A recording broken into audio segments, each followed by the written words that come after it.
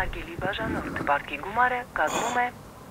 29945 դրամ։ 5 ամիս տեղաշորով պարկած էի։ Այդ օրը հետո որ մի քիչ լավ էի, նստում էի համար կրավատի վրա, տելևիզոր էի նայում, մալիքը փոխի տեսաղութից փող։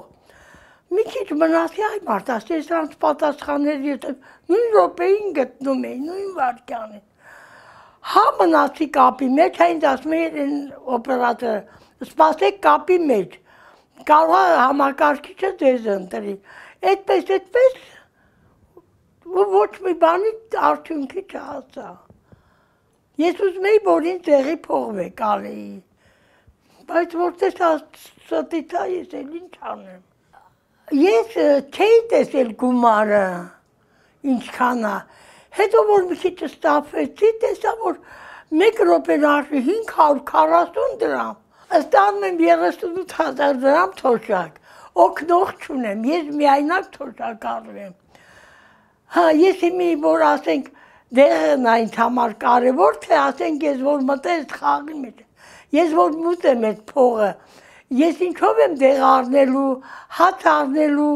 կոմունալներս մուտելու, Ով ինձ կտա ոչ մեկը։ Ես այդ փողը չեմ վճարելու, որովհետև իրանք խարթաղություն են արել։ Եթե պետքա թող գան հեռախոսն անջատեն, ինձ հարկավոր չի։ Չեմ կարող դասեմ, որովհետև տնկներից համար